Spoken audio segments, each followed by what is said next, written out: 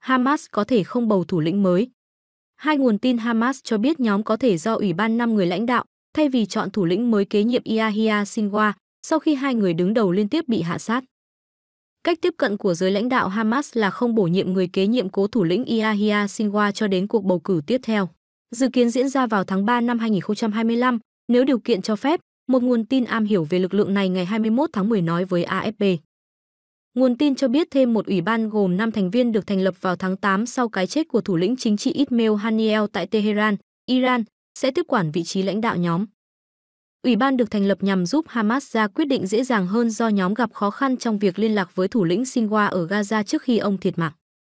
Hamas gần đây liên tiếp hứng chịu tổn thất nặng nề ở thượng tầng lãnh đạo. Sau khi thủ lĩnh Haniel bị ám sát ở Tehran, Iran hồi tháng 7, nhóm bầu Sinwar làm lãnh đạo mới. Tuy nhiên, ông này bị lính Israel bắn chết trong cuộc chạm trán ở Rafah, giải Gaza hôm 16 tháng 10. Nguồn tin cho hay ủy ban lãnh đạo của Hamas gồm đại diện của hai vùng lãnh thổ Palestine và cộng đồng người Palestine ở nước ngoài. Cụ thể là Khalil al-Hay'a đại diện cho Gaza, Zahir Jabarin đại diện cho bờ Tây và Khaled Mesan đại diện cho người Palestine ở nước ngoài.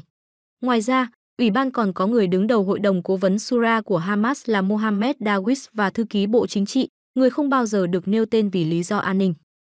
Tất cả thành viên hiện nay của ủy ban đều sống tại Qatar. Theo nguồn tin, ủy ban có nhiệm vụ quản lý Hamas trong thời chiến và những trường hợp đặc biệt, cũng như thảo luận các kế hoạch tương lai, đồng thời được phép đưa ra những quyết định chiến lược. Một nguồn tin khác từ Hamas cho biết ban lãnh đạo trước đó đã thảo luận về đề xuất nội bộ nhằm bổ nhiệm một thủ lĩnh chính trị mà không công bố tên.